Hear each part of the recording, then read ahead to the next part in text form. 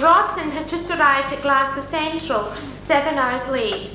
British Rail apologise for any inconvenience to passengers.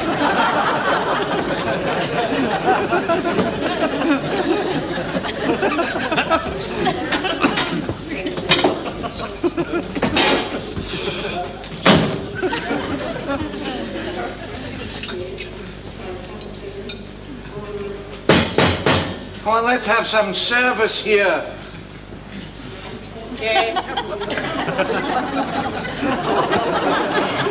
Well, what have you got for a man who spent nine hours on a train from an Ardross? Mutton chop, toad in the hole, or mince. Hey, I'll have mince, yes. Quite fond of mince. Another reason. That's fine, that's lovely, yes. Boiled potatoes, chipped or mashed. Mash. Mash will do, definitely mash, yes. Peas, carrots, or baked beans. Uh, oh, baked beans, yes, I'll have baked beans. Anything else? Uh, yeah, is that porridge you've got there? Aye. Ah, give us a couple of handfuls of porridge.